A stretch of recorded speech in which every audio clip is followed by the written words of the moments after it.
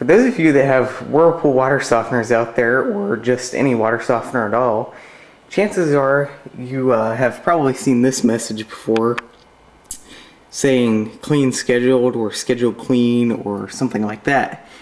This is not an error message or anything that's actually wrong with your water softener. It more just means that it needs to be cleaned. And there is a special cleaner like this that you can use to clean your system. I'll show you that just a moment. So this right here is the cleaner. It says Whirlpool Water Softener Cleanser on it. Um, this is marketed towards the Whirlpool units, but it does work for any water softener out there. And I will show you how to use it. Now this cleaner will involve recharging your softener system, so you won't be able to use your water for about two hours or so until it's done. So you're going to want to make a note around your faucets and your toilets and things if you think you're going to forget something along the lines of uh, do not use or something like that so you don't accidentally run water while it's cleaning. Now would also be a good time to turn off your ice maker because you definitely don't want that to run while the system is cleaning either. Alright, now that that's out of the way, the next thing you want to do is, is prepare the softener. So the first thing you need to do is, is clear this message off here, so just press any button on here to clear that off. Next we're going to go to the tank. So gonna, this is going to use um, some of your salt uh, more than a typical recharge, so just make sure that you have enough in here. As you can see I'm at level 5. Uh, I wouldn't do this if you're at level 2 or lower just because it's probably not going to use that much salt, but it's good to just have some in there. So what you're going to do is, and this one even has a note, but a lot of them don't, is just grab this cover right here and it just pulls off. And down there is where we're going to pour the cleaner.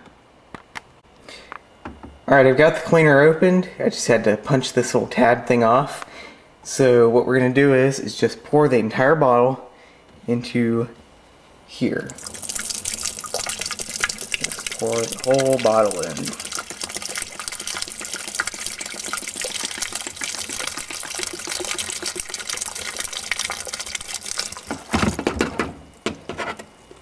Alright, bottle's in.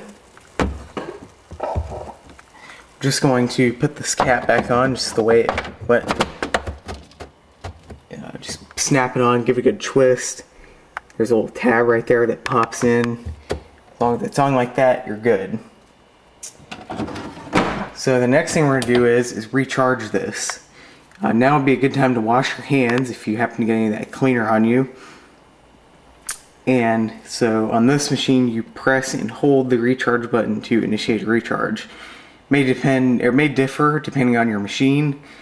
So however that is, make sure you do a manual recharge. So pressing and holding.